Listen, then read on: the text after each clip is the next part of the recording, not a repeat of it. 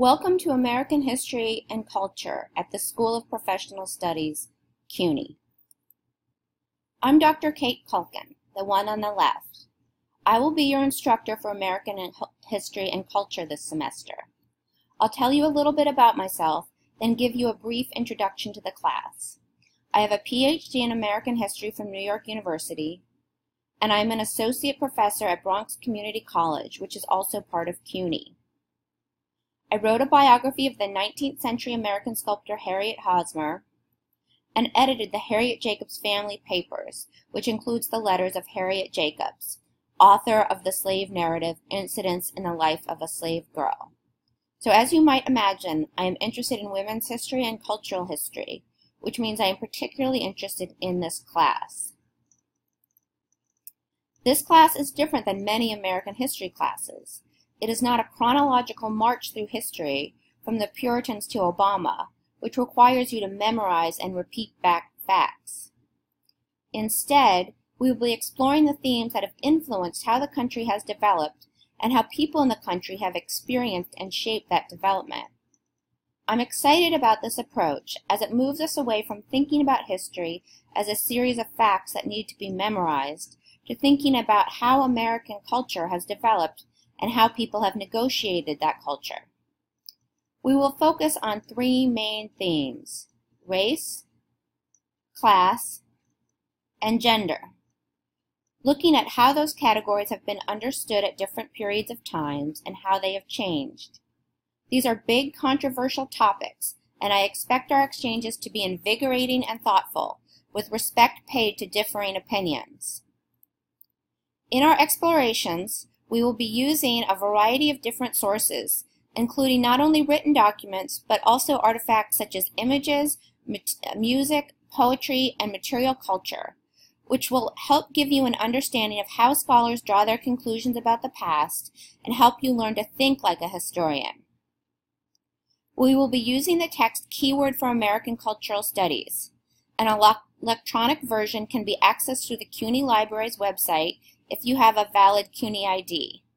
There are two editions, one published in 2007 and one in 2014, but you can read the essays in either edition. If you decide you want a physical text, you can purchase it through the NYU Press website, Amazon, or other booksellers. For historical context, we will also refer to the free online American history textbook found at the Digital History website. Although few people who take history classes go on to become historians, the study of history can help you develop many skills that will be useful no matter what you go on to do.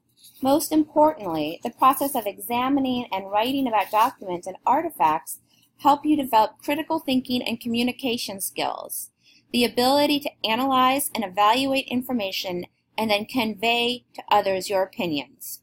And that is invaluable. So when you are looking at a document artifact, questions to ask yourself are, who created this? When? Why? Who was the audience? What does it tell you about the time it was created? And what leads you to those conclusions? What is your evidence?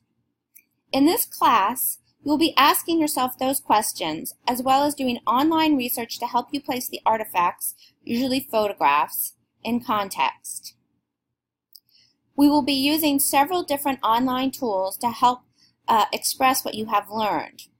These include Blackboard, ePortfolio, and Screencast-O-Matic. Don't panic if you feel a little overwhelmed hearing about all those technologies. It is a lot, but they are all pretty straightforward and SPS and I can offer some technical support if you get stuck. You should purchase uh, access to the professional Screencast-O-Matic, which costs about $15 a month.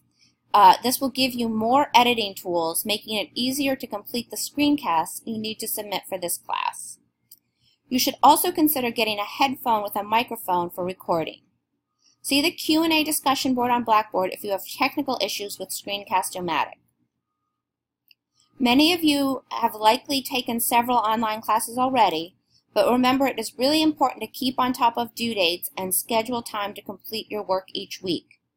You may want to consider adding times to your weekly calendar or even alarm on your phone to make sure you have time assigned to complete your work. Although I won't be meeting most of you in person, I look forward to getting to know you in this virtual environment over the next few months. Email me at catherine.culkin at bcc.cuny.edu with any questions.